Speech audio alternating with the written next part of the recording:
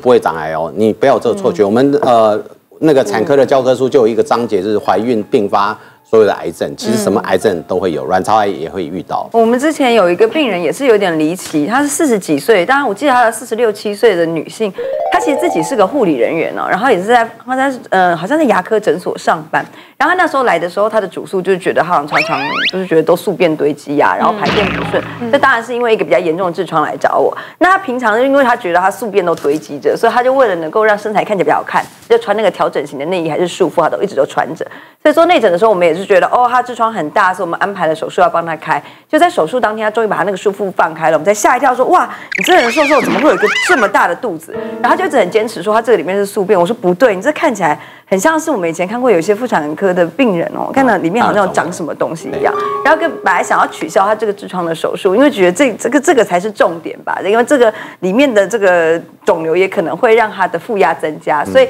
重点源头应该是这个，而不是痔疮。可是病人那个时候都已经做好所有的术前准备了，所以还是有把他的痔疮开完了以后，让他去妇产科继续做这个瘤的追踪。这样，后来这个肿瘤好像是一个畸胎瘤，就是一个妇产科比较特别的瘤，但是我对这个瘤的了了解没有那么多，可能可以请保人医师再做补充。那我们另外一个是有六七十岁的男性，那阿伯通常肚子都大大的嘛，那他也是常常大便都不顺啊，他就觉得说，哎，他好像也做过肠镜什么，但是所以他也没有觉得说自己肚子大是什么问题，就胖嘛。可是怎么觉得这肚子大速度这么快？然后我记得那时候我看到这病人的时候，我那时候怀孕是六个月左右，我发现这个病人肚子长大的速度比我胎儿长大的速度还要快。然后当时我生产完。这中间这段时间，他大概就开了两次，就是他肚子里面的肿瘤大的非常非常快，进展非常非常快。它是一个呃一个基质腹腹部里面的一个基质瘤啊，那个东西其实还蛮恶性的，然后进展也很快，然后会让肚子里面塞满都是肿瘤。我补充一下，钟医师讲的这个畸胎瘤，畸胎瘤是一个有趣的一个肿瘤。呃，大家如果看《怪医秦博士》，现在叫黑黑杰克，里面那个小佩其实就是这个东西。呃，你在怀孕的时候，你本来应该卵巢某一些东西应该分化成我们叫外胚层，外胚层包括哪些？头发、嗯、皮肤、脂肪、骨头、角膜，这些都属于外胚层。它跑错地方，跑到你的卵巢里面去。随着年龄增生，它有时候会分化出来，所以它是一个。绝大部分是一个良性的肿瘤，嗯，但是一发现畸胎瘤，我们通常的建议就是要开刀，啊，开刀把肿瘤的部分清除掉就好，卵巢不用整个开掉。我们畸胎瘤成分很好玩，我们以前开过教科书有一个可以长出整副下颚骨，我们对，因为刚刚讲它里面的成分可以分化成骨头，所以可以长出整个下颚骨在里面。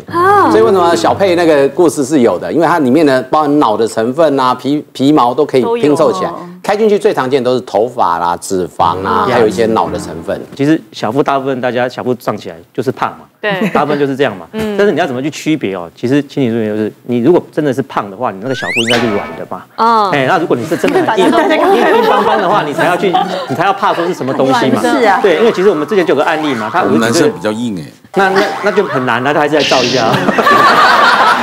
因为我们之前就有个五十几岁的，五十几岁的那个那个妇人哦，他他他就是他被他家人带，就是说他是带去看新陈代谢科，因为他说他他说他妈妈最近肚子就越来越大，然后病恹恹的，他就觉得说他是不是甲状腺功能低下，嗯，所以他就说他去看那个新陈代谢，他觉得他代谢有问题，就现在那个就帮他抽甲状腺抽没事啊，可是现在跟医生也蛮有 sense 的，他们就说现在怎么肚子硬邦邦，不对，就转到我们一般外科来，我就来我我就觉得真的很硬啊，我就给他切那个电脑断层，就一切，他肚子里面好多好多颗，像那个。像那个果那个果实一样，有没有？他的腹膜上面七八十颗，嗯，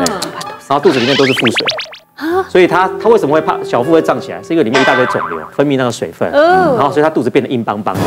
完全超硬的。那后来我们一看，我们强烈怀疑他是胃癌造成那个胃癌。胃癌转移万一转移出去，转移到整个腹膜里面都是，嗯，对，就后来那病人是做化疗，当然也是后来也是很不幸，因为他实在发现的太晚，了，所以你一定要区分说到底是。哪一种的？其实像我们之前有遇过，就是我有一个病人，他是别的病人介绍来，然后他是调痛经的，然后他就说他每次来月经来的时候都很痛。然后呢，我记得他一来的时候是人很瘦，然后很黑，就是整个气色看起来很不对这样子。然后那时候我就帮他看了之后，然后就说：“那你这个痛经，我就帮你针灸好了。”然后针灸的话，他就一躺下来，然后肚子就就露出来了，然后就摸就没不对，因为我们要摸那个肚子这边的穴道，一摸哎不对。就像刚刚那个江医师讲的，那个长瘤的那个肚子哈，摸起来是硬的，跟我们一般肚子那个脂肪摸起来，还有因为我们是很硬的那一种，很硬，对，它是我们下面肠子这样摸下去是这样，有一点好像弹性那样。然后如果有宿便的人，有时候会摸到有一颗一颗比较瘦的人，可以摸到有宿便一颗一颗，可是那种瘤哈摸下去就是你嗯，好像摸到一个硬的东西，然后而且他肚子就还蛮大的，然后我就说，哎，你这个不对，你要去妇科妇产科去照一下超音波。那我就问他说，你都没有觉得什么奇怪吗？他说，因为我就觉得下腹可能就是排便不顺啊，或者是说就是偶尔会便秘嘛，然后肚子可能大家就是变胖，然后后来他就真的再去妇产科检查，之后他隔一次就说他的一个肌瘤大概已经有八九公分，就比较大这样子。那之前也是有一个就是呃患者，那他就是大概五十几岁的公务人员，他从年轻就很瘦，他是属于吃不胖的体质，可是他就是有小腹，那他就会觉得说，就是他的小腹应该是因为就是呃长期的便秘造成的，所以他从年轻开始就是一会自己去吃泻药啊，然后用一些晚肠啊，然后每次对还蛮多人就喜欢自己用一些晚餐，其实我们是非常的不建议。那他每次用完之后就觉得哇小腹小腹又平坦了，觉得很开心这样。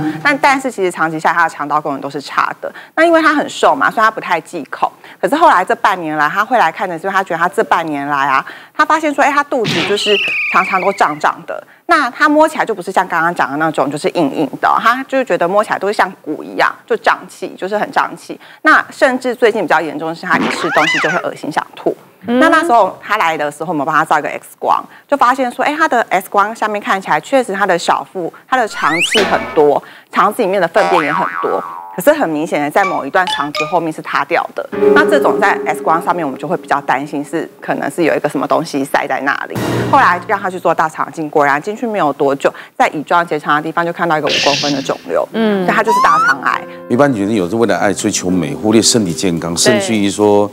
没有呃没有到很很病痛到不行才去看医生，真的，对不对？都是先顾家里啦，顾上顾下啊，对对，我还是强调多爱自己一点。呃，如果哪里不舒服，赶快及早找医生，才能及早发现、及早治疗。谢谢大家。这个季节黄澄澄的柳丁刚好是时节。那柳丁呢，大家都会想到它的维他命 C 含量很高。那大家知道，这样一个拳头大小的柳丁，大概就有两公克的膳食纤维，对于我们的这个肠胃道也是一个非常好的一个纤维来源。那柳丁呢？其实呢，它具有疗愈效果。为什么？因为柳丁哦，它的这个柑橘类的皮，那它这个皮在精油里头，它其实是具有这个振奋人心、让人心情快乐的一个呃非常好的精油来源。所以，当你心情不好的时候，其实吃个柳丁，闻一下它的皮，刮一下它的油，这个的精油出来，也会让我们的心情变好哦。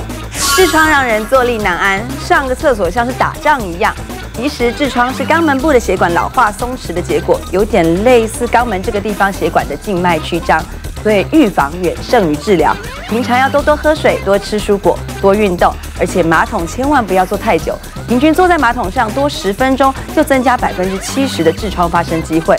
另外，可以配合规律的呼吸，做提肛和放松的肛门健康操，都能够对预防痔疮有很大的帮助。